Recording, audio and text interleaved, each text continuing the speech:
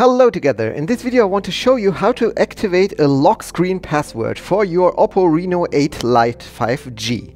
Why you should use a, password? Well, it's pretty easy. If I shut it down and just turn it on again and somebody finds it, you can see, okay, uh, the person can access my data and I have a big problem. So we should activate a password login screen. So we go here to the settings and when we are in our settings, we click on home screen and lock screen or better is password and security security. Let's click on password and security.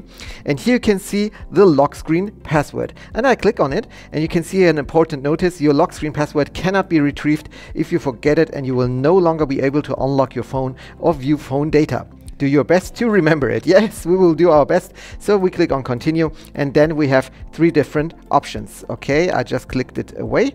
So let's do it again.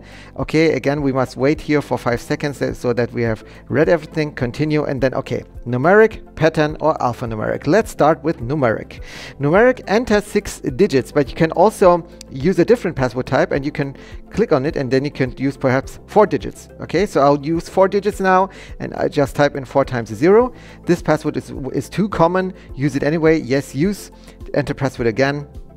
And then everything's fine and my device is ready. Add fingerprint, no, we will do this in another video. I will show you here the different um, uh, options. Okay, now when I uh, turn it off and turn it on again, he will ask me for a password and I will type in 4 times 0 and then I'm in my device. So, okay, that's pretty cool. So I now want to uh, use another method.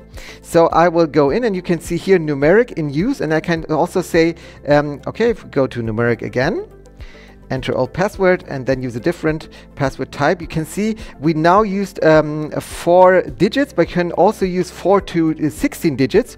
We can use pattern and we can use alphanumeric. So uh, here you can also see alphanumeric. So here you can see alphanumeric and I will also choose this. And alphanumeric is the best, normally the best option, but the problem is it's pretty complicated. Just remember, you have to type in every time you want to uh, access your, your device, you must type in this complicated password. So, okay, I think if you would use this, perhaps 16 alphanumeric um, uh, here buttons, and you will use a very complicated password, then okay, nobody will get in your device, but you will uh, you will not be very happy. So I would not recommend uh, to use this one.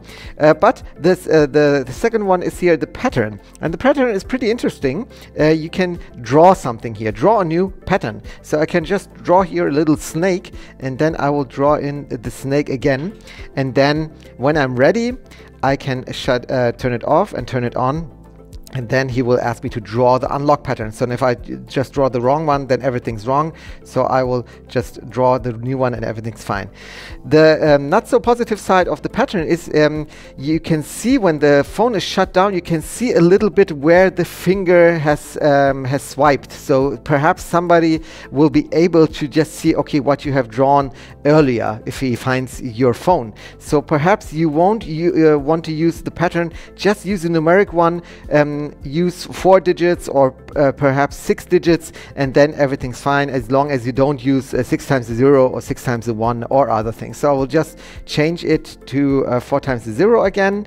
Here, four times the zero yes and 4 times 0 and I'm ready to go.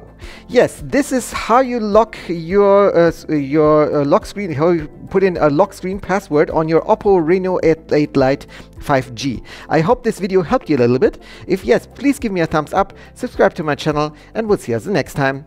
Bye bye.